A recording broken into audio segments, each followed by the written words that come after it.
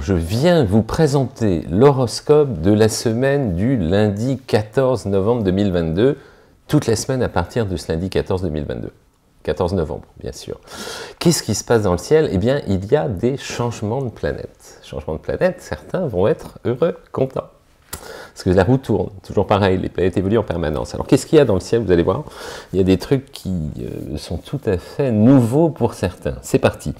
Et puis à la fin, je vous ferai un petit léus comme j'aime bien le faire. Sur... Bah, Aujourd'hui, je vais vous parler de l'âge des planètes. J'aime beaucoup l'âge des planètes. Vous allez voir, c'est tout à fait inattendu, je pense. Qu'est-ce qu'il y a dans le ciel? Le soleil démarre la semaine à 22 degrés du signe du scorpion, donc on est en plein dans le troisième décan du scorpion, pour le soleil, pour l'astre solaire. Donc bon anniversaire mes scorpions. Il apporte une très belle énergie, une énergie tout à fait spécifique, parce que lorsque les planètes sont en scorpion, on est dans un signe d'eau, donc le ressenti, l'intuition, le feeling est beaucoup plus marqué la perméabilité émotionnelle, euh, intuitive et plus vive. Pour qui? Tous ceux qui ont un ascendant, un soleil, une lune ou quoi que ce soit dans les secteurs dont je vais parler maintenant sont concernés par cette influence solaire, solaire, lumière, conscience, force, énergie, vitalité. Qui sont les privilégiés grâce à cet apport solaire Ce sont mes scorpions, bien évidemment, vous les premiers, mais également encore mes signes d'eau, me direz-vous, dernière semaine, profitez-en.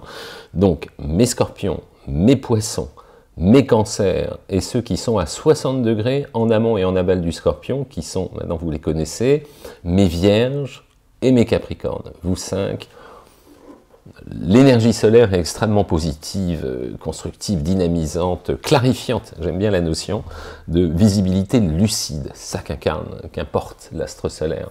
Puis un peu plus de confiance en soi aussi.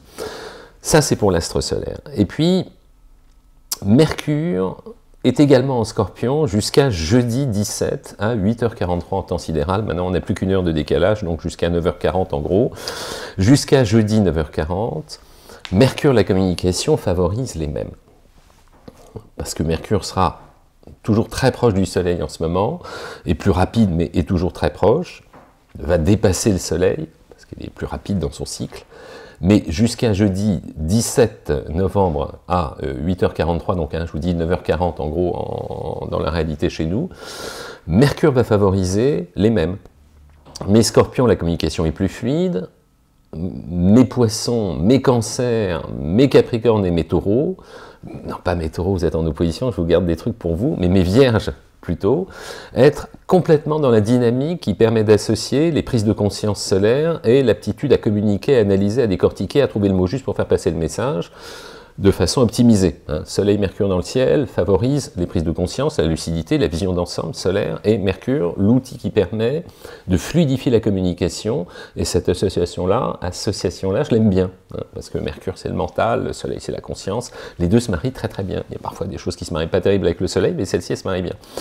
Et puis, donc pour les mêmes. Hein. Et enfin, le troisième larron, entre guillemets, c'est Vénus. Vénus qui également est en scorpion, 28 hein, degrés en début de semaine, donc jusqu'à mercredi 16 à 6h10, hein, avant qu'elle passe en Sagittaire. Un petit coucou pour mes Sagittaires, ça va venir, mes signes de feu.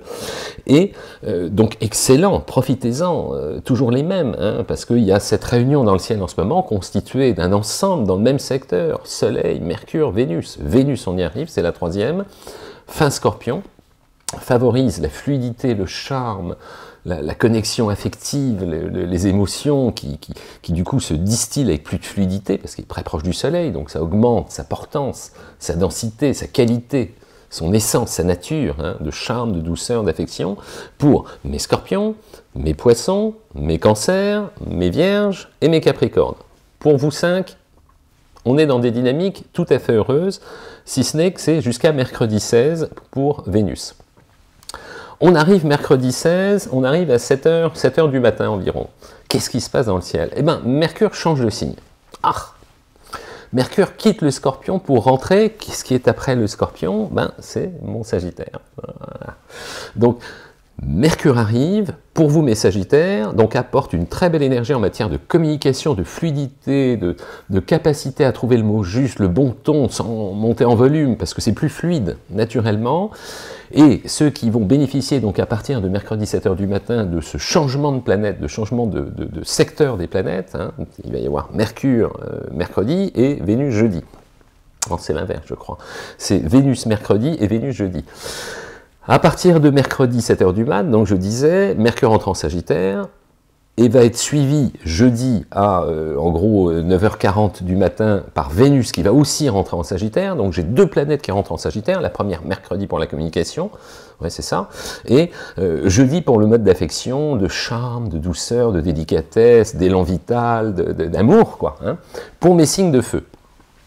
Donc mercredi et jeudi, on déclenche pendant plusieurs jours, voire plusieurs semaines, des dynamiques beaucoup plus heureuses pour vous, mes signes de feu, et en particulier pour vous, mes sagittaires. Pourquoi? Parce qu'avoir au-dessus de sa tête la euh, position de Mercure, qui est le maître de la communication, de la fluidité oratoire, de l'aptitude à essayer de se comprendre, de se connecter, d'être sur la même longueur d'onde, va être optimisée. Pareil pour Vénus à partir de jeudi, le charme, la douceur, la délicatesse, l'affection, l'envie que ça se passe bien, l'envie de trouver le point d'entente va être optimisé. Pour qui? Pour mes signes de feu, mais pas que. Excellent donc à partir de mercredi et jeudi pour la communication et l'affection, pour mes sagittaires, topissime. Hein. Mais également pour mes lions et pour mes béliers, hein, ça redémarre pour vous. Ça redémarre, c'est pas mal. Hein. Vraiment, c'est bien. Là, les deux outils communication-affection, j'aime beaucoup quand ils sont activés, parce qu'on optimise justement toutes ces relations aux autres sur ces deux terrains qui vont être les terrains de com, d'échange, de, discussion, et puis en même temps, les rapprochements. On joint le, verbe euh, à l'action, tout simplement, à au contact. Donc, très très bon sur le plan intellectuel et sur le plan amoureux, pour faire simple, pour mes Sagittaires, mes Béliers, mes Lions, et ceux qui sont à 60 degrés en amont, en aval, qui sont hein, en amont du Sagittaire, mes Balances, et en aval, mes Verseaux. Verseau, ça commence tout doucement à se décanter pour vous, et cela ne pourra aller que de mieux en mieux si on est dans les spirales positives, très important toujours. Voilà pour le ciel tel qu'il se dessine. Après, j'ai toujours, Toujours le même, toujours Mars. Mars, j'aime bien regarder Mars. Si j'oublie Mars, euh, on fait des commentaires. Mars, il bouge pas beaucoup, il est en Gémeaux. Toujours pareil, il y est jusqu'en mars justement 2023, donc on a encore le temps de le voir venir. Il traîne dans ce signe des Gémeaux. Moi qui suis de la Vierge, je l'ai en carré, donc c'est l'énergie comme ça. là là, c'est fatigant. Euh, ceux qui ont des planètes en fin Sagittaire, troisième décan, en troisième décan Poisson, troisième décan Vierge et troisième décan Gémeaux Mars, il est très actif, mais on commence à en avoir un peu, assez, parce qu'il nous sollicite et les signaux de fatigue, on ne les écoute pas toujours. En revanche, sa présence persistante à la fin des Gémeaux me nourrit d'une forme d'énergie soutenue, malgré tout mes Gémeaux, mais également mes balances, mais également mes versos, mais également mes lions et mes béliers. Vous cinq, Mars vous veut du bien. Nous, il nous Saturne, vous, il vous veut du bien. Vous, vous arrivez à le canaliser mieux que nous, et moins de fatigue. Voilà, c'est l'idée pour Mars. Qu'est-ce que j'ai d'autre? J'ai également, bah, toujours les mêmes, on va faire un petit peu le tour. Jupiter, Jupiter, planète de la chance, moi j'aime bien regarder Jupiter. Parmi les planètes que j'aime bien regarder, il y a le Soleil, parce que c'est le, gros morceau. La Lune, elle est trop rapide, je vous en parle pas, sauf pour les pleines lunes, nouvelles lunes.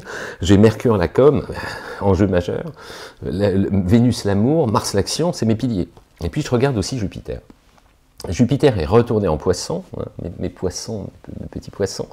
En ce moment, Jupiter vous veut du bien, hein, il a 29 degrés du signe, mais il est quand même dans le signe. Il est en marche rétrograde jusqu'au 24 novembre, donc ça va arriver vite. 24 novembre, il redémarre en marche directe, il sera toujours en poisson jusqu'au 20 décembre. En 20 décembre, tac, il retourne en bélier. Donc pour l'instant, jusqu'au 20 décembre, qui sont euh, ceux dont le facteur chance sera plus actif. Mais qu'est-ce que c'est que le facteur chance? Vous connaissez ma méthodologie sur le, sur, la, sur le système. La chance, c'est un état d'esprit. La chance, c'est être positif, voir le bon côté, être généreux, être ouvert, c'est vraiment envoyer des énergies euh, euh, qui donnent envie, qui stimulent. Hein. C'est ça Jupiter. Voilà comment il est productif. Hein, être dans les clous, surtout Jupiter, être dans les clous. Respecter l'autorité, être dans les clous, pas faire de marge d'erreur, ne pas vouloir aller trop vite, mais déployer cette envie de bien faire jupitérienne, surtout en poisson, elle est très puissante comme ça. Excellent donc en matière de chance potentielle à créer, toujours la même histoire, pour mes poissons, pour mes scorpions, pour mes cancers, pour mes taureaux pour le coup, parce qu'en ce moment c'est vrai que vous avez plein de planètes en opposition au scorpion, donc c'est limite, mais en même temps vous avez le soutien de Jupiter qui vous veut un bien fou, voilà, jusqu'au 20 décembre c'est pas mal. Et puis également pour mes capricornes, hein, dont je n'ai point beaucoup parlé, parce que lorsque Jupiter est en poisson, il forme des sextiles avec les deux signes d'eau, celui qui est en amont et celui qui est en aval. Et les signes d'eau en amont et en aval des poissons, où se trouve Jupiter, la chance, sont mes capricornes et mes taureaux. Alors mes capricornes, je sais que la chance, quand je parle de chance, il y a toujours un côté prudent chez vous qui dit, mais la chance, moi j'y crois pas. J'aimerais bien que vous y croyiez plus, parce que, encore une fois, qu'est-ce que c'est la chance? J'avais un ami capricorne qui me disait, la chance c'est 90% d'efforts acharnés et puis après, c'est l'état d'esprit positif. je suis d'avis que, ok, euh, peut-être pas aux 90% d'efforts acharnés, mais au moins, avant tout, l'état d'esprit positif. Si on regarde ce qui coince, ça marche pas. Si on regarde ce qui fonctionne, ça avance. Vraiment la méthode pour gérer Jupiter. Sinon, j'ai toujours Saturne qui est en verso, 19 degrés, donc euh, structurant pour mes versos, euh, un peu fatigant, c'est vrai, euh, excellent pour mes Gémeaux, Saturne, la vision à long terme, excellent pour mes balances, excellent pour mes Sagittaires, excellent pour mes Béliers.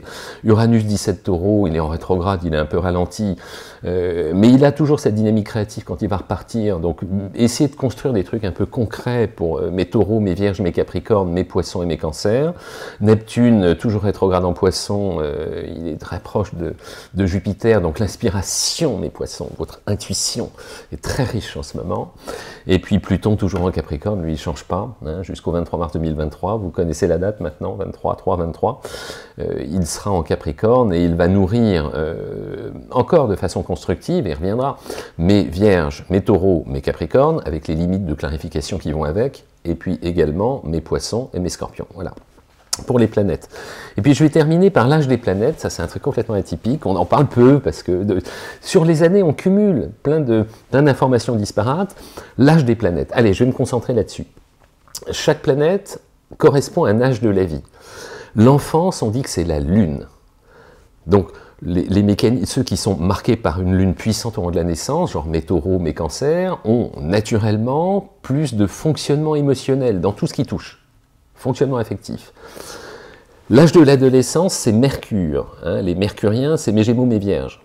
Mes Gémeaux, mes Vierges sont souvent d'éternels adolescents, c'est pour ça qu'ils sont curieux de tout, qui vont dans tous les sens. L'âge de l'amour, c'est Vénus, hein, la vingtaine, euh, l'âge de Vénus. L'âge de Vénus, c'est quoi? C'est mes taureaux, mes balances. Encore une fois, je reviens sur mes taureaux qui ont deux planètes en maîtrise, mes balances, le charme. Hein, on, a toujours, on a toujours 20 ans, mes balances, hein, dans son cœur. Après, il y a l'âge de Mars. Hein, l'âge de Mars, la volonté, la trentaine, hein, la réalisation, l'attaque, hein, qui sont les signes gouvernés par Mars, les âges idéaux en fait, les âges dans lesquels on se sent le mieux, sont mes béliers, mes scorpions, mes capricornes. Après il y a l'âge solaire, l'âge solaire c'est la quarantaine, l'autorité. L'âge solaire c'est qui? C'est mes lions, qui ont une autorité naturelle qui se déploie, la quarantaine, souvent parfois un peu avant s'ils ont de la chance, et puis ça perdure s'ils ont été solidement construits pour assurer une pérennité dans leurs objectifs, et mes béliers qui ont cette force de vie naturelle. Après arrive l'âge de Jupiter, je sais pas, 40, 45. Hein.